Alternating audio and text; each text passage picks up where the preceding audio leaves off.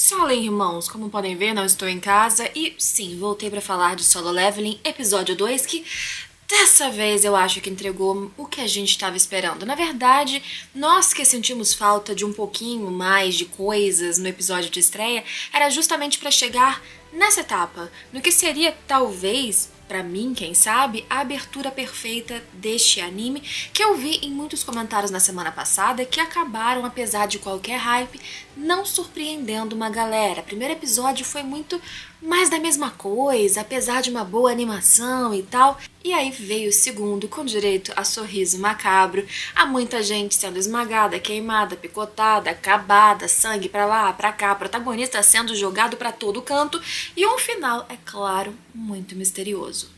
Gente, é claro que eu não tô no meu estúdio, eu tive que improvisar aqui para conseguir vir gravar para vocês, por isso o vídeo no domingo. Mas semana que vem, lembrando, se vocês quiserem que eu continue comentando solo leveling, é só deixar seu comentário aqui embaixo, voltar nos sábados, que se tudo der certo, a gente volta a falar sobre ainda não decidi o nome a gente já teve sábado das almas, de família. O que, que vai ser o sábado de solo leveling? Deixem ideias. E lembrando, não falo spoilers do futuro dessa história, faço mínimas comparações com o material original, mas só sobre o que já aconteceu. Vem comigo comentar o que você achou nessa semana de solo leveling. A galera do rank baixíssimo tava numa dungeon de rank D, ou seja, para os mais fracos, seria fácil, e a gente já entendeu o esquema do mundo que eles explicaram de novo nesse segundo episódio. De repente, aconteceu algo que vários portais começaram a abrir para várias outras dimensões que tinham monstros. Ao mesmo tempo, vários seres humanos ganharam habilidades. Habilidades ranqueadas das mais fortes às mais fracas, ali em ordem do S até o E, e apenas esses chamados caçadores conseguiriam entrar nesses portais, participar de dungeons, derrotar o boss ou o chefão e assim impedir que após sete dias de portal aberto, aquela galera, aqueles monstros invadissem o mundo dos humanos e causassem uma tragédia. O nosso protagonista, Sandin Wu, ele acaba sendo o mais fraco caçador que a gente conhece nessa história até então. Rank é. Só que a missão que a gente vê ele fazendo, de repente eles descobrem que tem um caminho ali, um túnel secreto. Aí eles vão nesse túnel e no túnel tem umas estátuas meio bizarras que matam todo mundo no estalar de dedos, como se fossem formigas. Isso foi a treta do episódio passado. Neste episódio aqui, a gente viu o negócio ficando cada vez mais sério. O que, que eu achei legal neste episódio? Em adaptação, foi bastante fiel com algumas ressalvas, algumas censuras, é claro, ou um corte aqui e ali de pensamento introspecção do protagonista, que talvez dificulte um pouco a interpretação sobre ele, sentimentos e tudo mais. Nessa fase inicial eu não acho que é um grande prejuízo, mas o que tivemos foi a revelação de que na verdade aquilo ali era mesmo uma side quest, uma quest paralela. Era aquele negócio que assim, você já derrotou o monstrão, o boss que você estava lutando, que era ali do teu nível, fácil, mete o pé e vai embora. Mas se você for corajoso, entra nesse túnel aqui, bem macabro, e tenta resolver o puzzle, um quebra-cabeça. Uns três mandamentos ali que, se você entender, quem sabe você sobreviva. E é basicamente esse funcionamento. Não só o final deixa um gancho com literalmente cartelas de games, fazendo uma associação, não mais apenas uma referência ao universo de videogame, mas toda a linguagem, toda a dinâmica, tudo que a gente acompanha neste roteiro, no que acontece na história, é muito vinculado ao universo de videogame. O quanto isso faz parte intrinsecamente da construção de mundo, aí você precisa guardar. Mas o interessante é que entre mais de 20 que estavam ali, daqueles que ainda não tinham morrido, não com mais experiência, muito menos com mais força, estava o protagonista que talvez pelo seu instinto de sobreviver de qualquer jeito nas piores situações, ainda que para os outros fossem muito mais simples, ele não podia se garantir na força. Ele tinha que observar brechas para fugir. E por isso que ele é o primeiro e único que tenta interpretar qual que é aquele quebra-cabeças. E os mandamentos eram reverenciar o Deus, louvar o Deus e depois ter uma demonstração de fé. Um negócio basicamente religioso, que o Deus parecia ser aquela estátua sorridente bizarra, mas sim, aquilo tudo era um quebra-cabeças. A primeira coisa que era venerar, ele logo descobre que é se abaixar. Se você está muito alto, se você tenta fugir e tudo mais, você acaba sendo morto com nenhum esforço. Então, quando todos se abaixam, a estátua já abre aquele sorriso macabro maravilhoso, que eu admito que nas páginas eu achei que o traço ali, o enquadramento na página deu um impacto maior, mas no anime ficou também muito bom. E aí a gente vê que teve uma reação teve uma aprovação bizarra de que o que eles fizeram estava certo, mas não acabava neste ponto, porque tinham mais dois outros passos.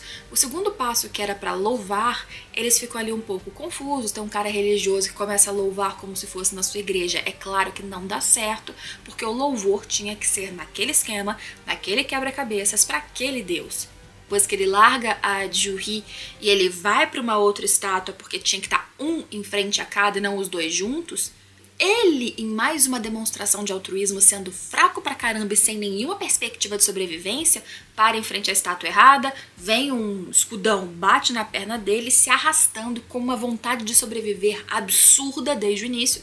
Ele chega ali para produzir o louvor. Eu acho interessante que Solo Leveling, nessa parte, eles mostram sim bastante da visceralidade desse mundo, não apenas porque quando a gente vê uma história de aventura, geralmente queremos esse tipo de emoção, esse tipo de consequência, não apenas tragédia por tragédia, mas, poxa, é um mundo que tem portais, monstros e perigos, então bora ver a consequência de você não conseguir lidar com esses perigos, mas também porque quebra padrões de de repente você ter uma história que já começa esperançosa e joga muita destruição, decepção na sua cara, e para quem nunca leu, talvez quebre inclusive muitas expectativas. O protagonista ele não consegue salvar as pessoas porque não depende apenas dele, quer dizer, depende pouco dele. Ele não tem voz o suficiente para trazer aquela esperança ou confiança nos outros para que eles fiquem ali, por exemplo, quando eles devem ficar.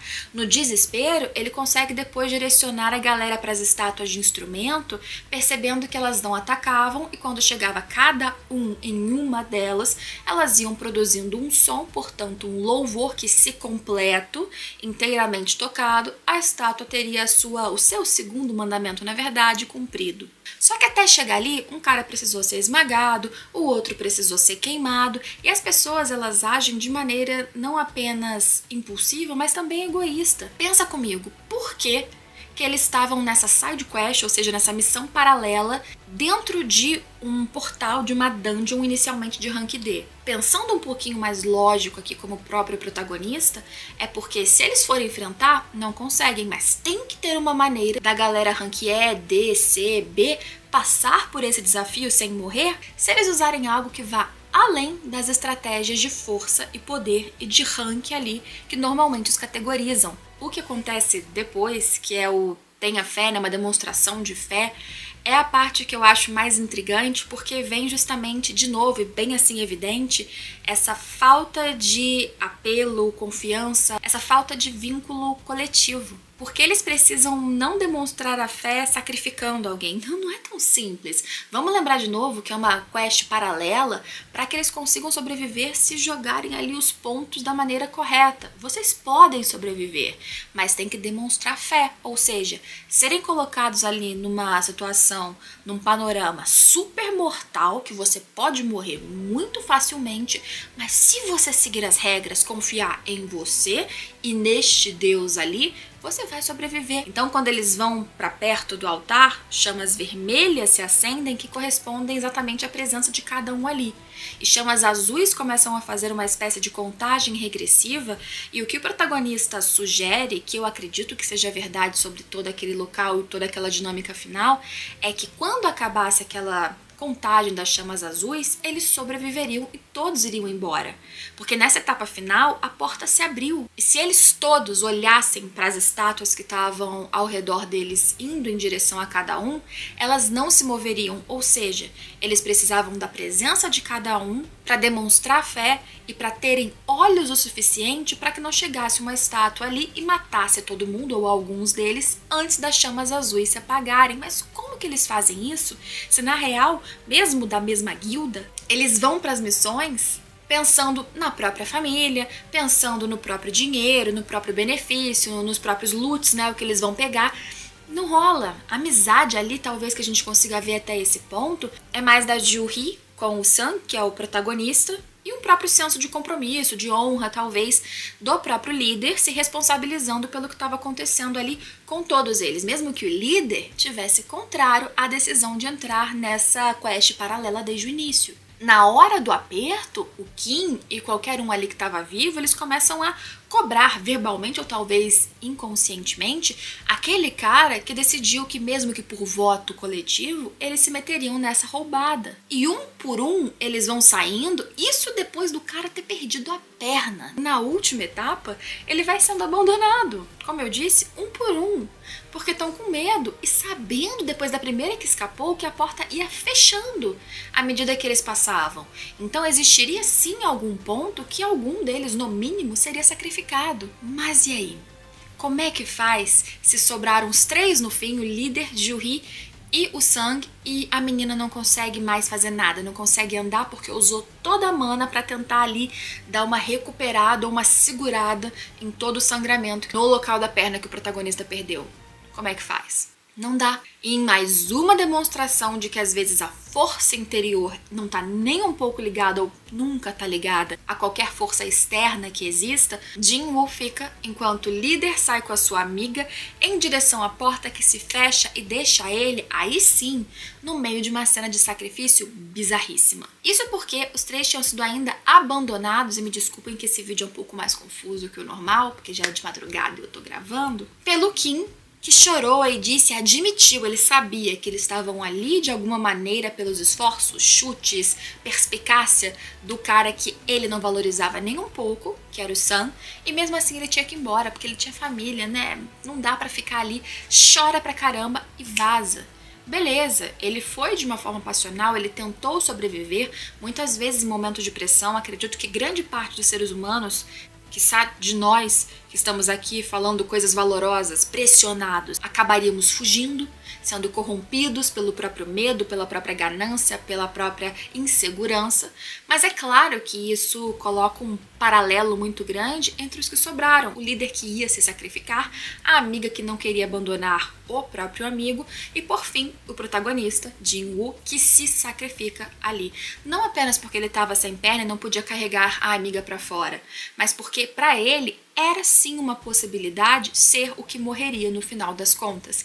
Em todo momento ele estava lidando com essa perspectiva, com essa chance, com esse risco de morte em cada uma das missões dificílimas para ele e fáceis para o outro que ele participou em todas as jornadas como um caçador. Quando ele fica ali e começa a ser arremessado de um lado para o outro, o interessante é que ele não é um cara tão altruísta a ponto de não ter raiva do que foi o último responsável para eles não terem conseguido ficar até o fim das chamas azuis, para terem uma demonstração coletiva de fé.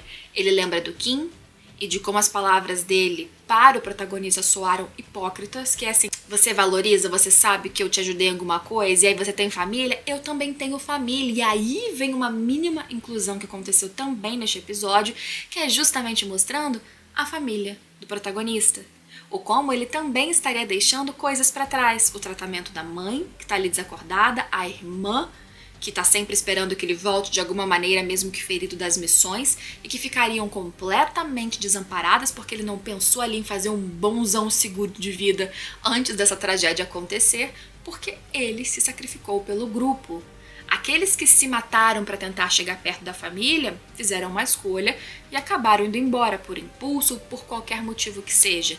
Mas naquele momento final tinha a chance de todos sobreviverem e um não confiou no outro, ou Kim não confiou em ninguém e quis se salvar porque viu o outro se salvando e aí não ligou para os companheiros que ficavam para trás. O ápice, é claro, do episódio é a gente ver que o protagonista foi mais perfurado, sangrado, jogado, esmagado, carne moída, rolando e sangue para lá e para cá. Eu nunca acho que esses animes são extremamente visuais, viscerais no sentido gráfico da coisa. A gente vê muito sangue, um membro para cá, para lá, mas não tem tripas, que eu acho que é a parte mais nojenta. Mas é claro que é pesado no sentido, bem, narrativo, no mínimo, que ele estivesse sendo literalmente torturado. E quando você tem certeza que ele vai morrer ou que ele vai despertar um poder, não é exatamente o que acontece. Aí vem a telinha que mostra, opa, temos aqui mais referências de jogos e a mais literal possível. Elas passam super rápido no anime, se você der pausa dá pra ler melhor, mas as telas dizem o seguinte: Você desbloqueou a missão secreta. Não me lembro agora qual o termo que ficou na tradução oficial, vou deixar aqui embaixo. E a gente já vê então que, peraí, ele cumpriu todos os requisitos, estava escrito ali, ou seja, ele fez os três mandamentos, mas ele cumpriu a missão. Então, ele foi o único que cumpriu todos os requisitos. E ele tinha um tempo resumido para aceitar a nova missão que ele recebeu, paralela, brinde extra, porque ele estava com o corpo todo cagado. A gente não tem como no manhwa pensamentos em off do personagem aparecendo enquanto ele lê essas telas misteriosas de game aparecendo na sua cabeça no leito de morte. Mas vamos lá, dá pra gente supor, no mínimo, ou eu estou afirmando para vocês, que ele estava sim, de alguma forma consciente, mesmo que no limbo, quase no vazio. Jin-woo estava lendo cada uma daquelas telas, entendendo que ele tinha que aceitar agora ser jogador ou não dessa nova quest secreta. Se ele não aceitasse, ele ia morrer. Então, naturalmente, ele aceita sem saber o que ele esperaria dali pra frente. Será que ele simplesmente vai acordar e vai ser, opa, agora eu sou um cara fortão, um típico despertar de poder de um dia para outro que salva aquele nosso mocinho, como a gente vê muito por aí? Será que vai seguir mais uma questão de game, de upgrade? Como será essa jornada de Sang Jin-woo e me desculpem se eu falo nomes errados, é nome coreano, que bom que mantiveram os nomes originais, mas aí vocês vão me ver cometendo umas gafes por aqui e ali, tudo bem? Mas o que você achou desse novo episódio? Eu achei ele muito mais empolgante, é claro, esperado, porque adaptou uma parte do mangá que é marcante, icônica, que muitas pessoas se interessaram em solo leveling na época do manhwa principalmente, né, que tem a parte visual, não apenas a novel, a partir deste sorriso macabro, dessa cena louca, desse virar de chave que levou para algum lugar inesperado o protagonista.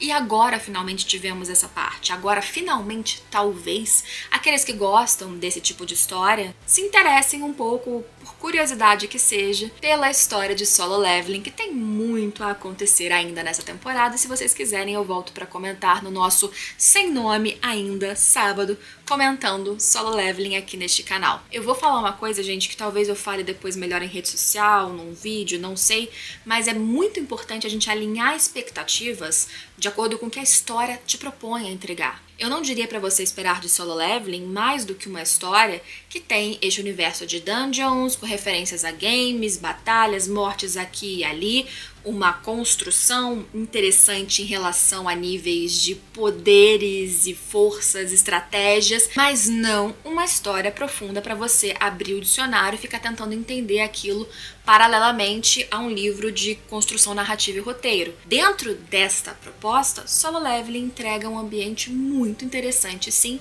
especialmente nesse começo que é extremamente dramático e chamativo. Então, até aqui, para mim tá sendo uma excelente pedida chamada Vamos ver como a história continua sendo adaptada nos próximos episódios das próximas semanas e se vocês quiserem, estarei aqui comentando, espero eu, com mais calma com todos vocês, episódio a episódio. Desculpem por todo esse atraso, gravação aqui de última hora, áudio meio estranho. E espero vocês em todos os próximos vídeos neste canal que saem de outros assuntos, inclusive vlogs interessantes no Japão também. Espero vocês nos próximos vídeos. Tchau, tchau!